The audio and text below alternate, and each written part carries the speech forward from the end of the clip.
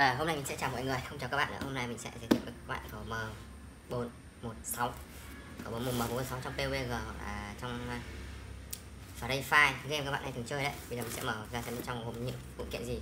Và rất là nhiều phụ kiện. Đây, rất là nhiều đầy hộp luôn này. À, một cái cháo này. À, cái này là cái laser, laser này. Chút cái này này các bạn thấy không? Đấy súng bắn. Súng bắn thính đây khẩu súng này mà không bắn đạn thạch luôn. Đạn thạch chúng ta sẽ cho phía trên này. Đây gói đạn ba gói đạn. Đèn pin đây đèn pin này.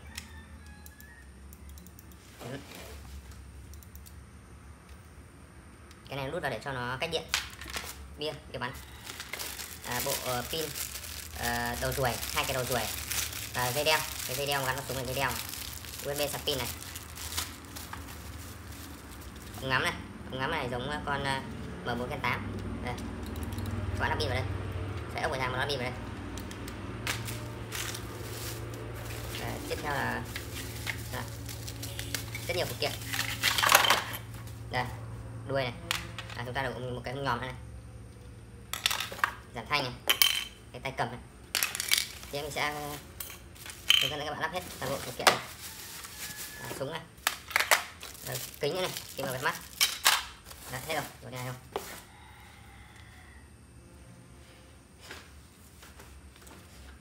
Bây giờ mình sẽ hướng dẫn các bạn lắp. Mình sẽ dịch cái cam này ra Đấy, bây giờ mình sẽ hướng dẫn các bạn lắp. Thì đây là súng. Bây giờ đầu tiên chúng ta sẽ lắp uh, phần đuôi vào trước. Đấy. sau khi lắp phần đuôi chúng ta sẽ lắp phần uh, đầu. Giảm thanh cho lắp đây. À, súng này cũng nhiều phụ kiện như này khả năng cũng khó lắm. Bây giờ đầu tiên là lắp chân nhá chân vào đây. Đây là một cái nút bấm này.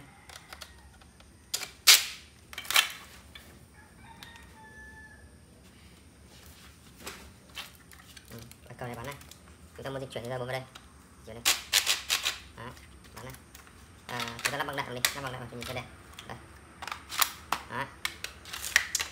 tiếp theo đó đến là chúng ta sẽ lắp cái nhòm này đi nhòm này nhé lắp vào mình uh, nếu mà khó quá bạn xoay đó xoay ra nó lắp vào lấy ốc vào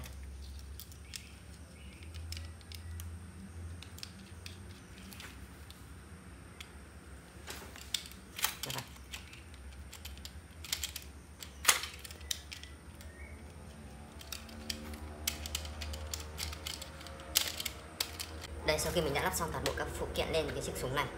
Đây các bạn nhìn này. Đấy. đây là laser mình sẽ gắn ở đây này. Cái pin này. Hai ống ngắm vào đây này. À, thằng đuôi này.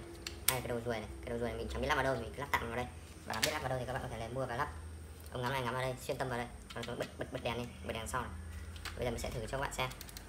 Bây giờ cái này súng này nó sẽ có hai chế độ chế độ liên thanh và chế độ từng viên một. Đây auto này.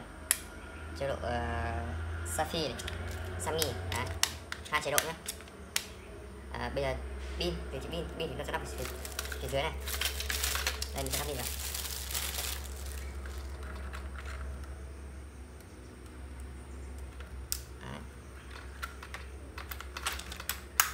Đây đây là chế độ bắn auto và liên thanh nhé chúng ta chế độ, chế độ bắn từng viên này.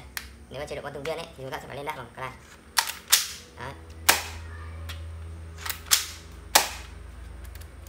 đây là chế độ bắn từng viên xong nếu mà chúng ta muốn bắn liên thanh thì chúng ta chuyển sang chế độ auto. Nếu mà chuyển sang chế độ auto thì cái này sẽ không lên được đạn khóa chốt rồi không lên được đạn.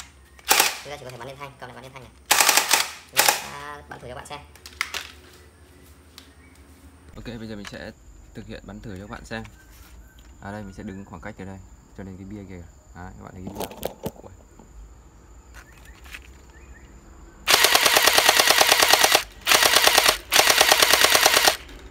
Đấy, bắn khá là chuẩn.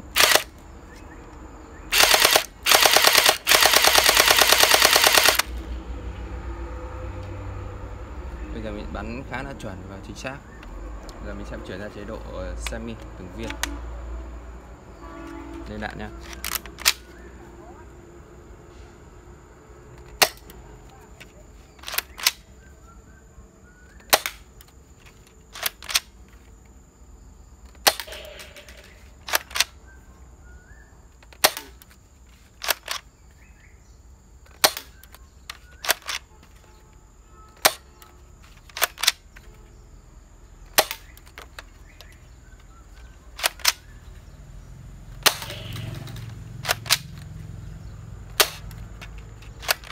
cái kia gục luôn. Đấy. Các bạn thấy không?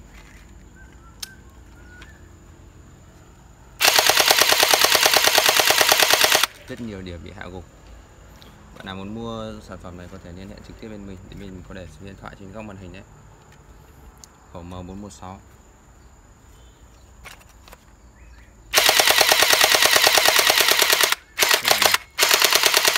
hết đạn rồi đạn thì bây giờ mình sẽ giới thiệu các bạn đạn. Các bạn các bạn đạn thạch là đạn gì? Đây đây chính là đạn thạch này. Đây là những viên đạn thạch này. Các bạn nhìn này. Đây mình sẽ quay video xuống. Đây đạn thạch này. Đấy, viên nhỏ như này thôi. Các bạn ngâm uh, nhỏ như này. Vỡ được luôn này. Chúng ta có thể bóp vỡ này. Đấy, bóp vỡ. Súng này nó không gây sát thương cao nhá cho nên chúng ta có thể bóp vỡ đạn thạch được. Đạn này nó rất nặng mỏng manh và rất dễ vỡ Đấy.